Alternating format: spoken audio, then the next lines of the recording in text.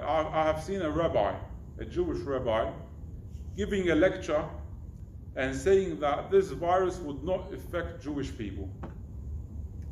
So maybe they believe it's a punishment for, for other people, but it would not affect Jewish people.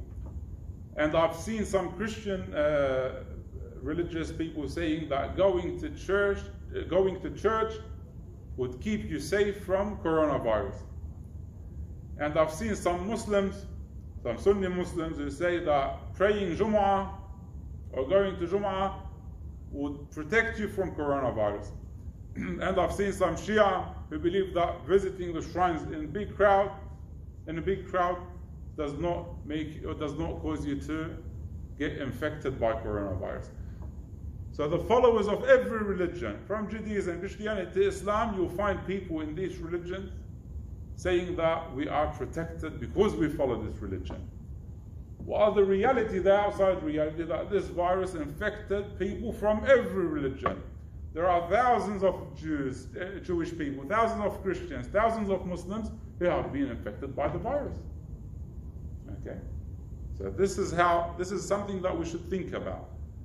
Allah subhanahu wa ta'ala doesn't want you to sit down and just pray when there's a problem. No, He wants you to use your logic, to use your intellect, to think about what you are going through or what is going through uh, in your life.